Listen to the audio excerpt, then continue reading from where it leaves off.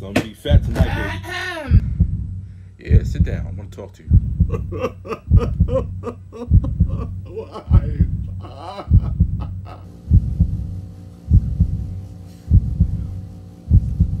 so, ladies, hide your snacks.